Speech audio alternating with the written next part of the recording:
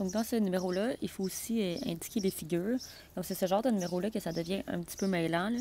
Fait que si on a D, F, E, B qui est un parallélogramme, fait qu'on va pouvoir utiliser ces propriétés.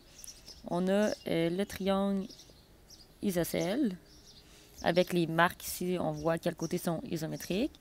Puis on a euh, un trapèze. Fait que G, D, B, H. G, D, B, H comme ça. Fait qu'ici, il y a plusieurs formes. On nous dit aussi que A, B et E sont alignés, donc ils sont sur euh, la même ligne droite. Donc l'angle qu'il faut trouver, c'est euh, l'angle GDA, donc juste ici. Euh, il est moins, peut-être moins évident que les autres, un petit peu plus difficile ce numéro-là. Donc les stratégies, c'est soit tu dis je pars de ceux que je connais, puis j'essaie de me rendre le plus proche possible de celui que je cherche, ou tu peux faire semblant que celui que tu cherches, tu le connais pas, puis tu essayes de voir comment tu pourrais retourner aux autres. Fait ici, je vais voir où ça mène euh, les mesures d'angle que je connais. Fait que, premièrement, euh, avec euh, ici le trapèze, je sais que je pourrais trouver tout ça. Tes l'angle G, D, B, je pourrais le trouver. Fait que disons que je me dis que ça, ça serait hypothétiquement ma première étape. Après ça, je ne peux pas juste le couper en deux. Il n'y a rien qui me dit que c'est une bisectrice, fait que je peux pas faire ça avec, après ça, si j'essaye de me rapprocher de ces angles-là, avec le parallélogramme, ben, je pourrais trouver l'angle opposé. Puis si j'ai l'angle opposé, ben, je pourrais trouver dans le triangle isocèle euh, l'angle supplémentaire. si j'ai euh, le 3, ben, je pourrais trouver euh, l'autre, ce qui me permettrait de trouver comme cette partie-là.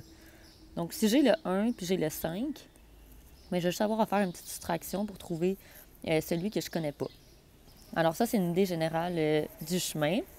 Si tu ne savais pas comment faire, je t'encourage à attendre, ben, essayer de le faire à partir de là. Alors, euh, j'ai noté l'ordre quand j'ai fait mon chemin pour être sûr que j'ai justifié dans le bon ordre. Fait que l'angle GDB, il va mesurer 130 degrés parce que quand je regarde dans la liste, des quadrilatères. Mais ici, on a, pour tout trapèze, les angles consécutifs de bases différentes sont supplémentaires. Alors, euh, le 22, donc celui-là, il est pas mal utile. Alors, lui, il est fait. Fait que le 1, je vais le remplacer par sa mesure. Donc, 130 degrés. Ensuite de ça, je me suis dit que j'allais faire le 2. C'était un chemin qui marchait. Fait que D, B, E, ben, il mesure aussi 105 euh, parce que les angles opposés dans les parallélogrammes sont isométriques. Fait que 105 degrés. Et puis, euh, c'est dans tous les parallélogrammes, euh, angle opposé isométrique. Fait que c'est le numéro 26. Fait que numéro 26, c'est fait. Ensuite de ça, le 3, ben là, ici, il mesure 75 degrés. Fait que c'est D BA 75 degrés, c'est parce qu'il est euh, supplémentaire. Fait que si on regarde dans la liste des énoncés, c'est au tout début. Fait que les angles supplémentaires, c'est le numéro 2. Donc, toujours se référer euh, à la liste. Ensuite de ça, ben, le quatrième, il mesure aussi 75. Euh, fait que BAD, 75 degrés. Puis ça, c'est à cause du triangle isocèle. Donc, dans les triangles isocèles, les angles opposés aux côtés isométriques sont isométriques. Fait que le numéro 13. Ensuite de ça, je peux trouver le 5 parce que c'est un triangle. Fait que si tu es 75 plus 75, ça donne 150. Fait qu'il va rester 30 degrés pour l'angle ADB. Fait que ADB, il reste 30 degrés ça, c'est euh, dans le triangle. pour tout triangle, la somme des mesures des angles donne 180 degrés. c'est le numéro 12. Euh, Puis finalement, c'est vu qu'on connaît, je vais le mettre en couleur.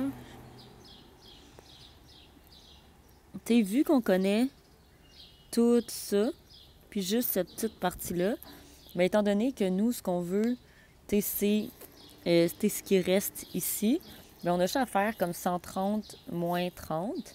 Fait qu'ici, l'angle GDA,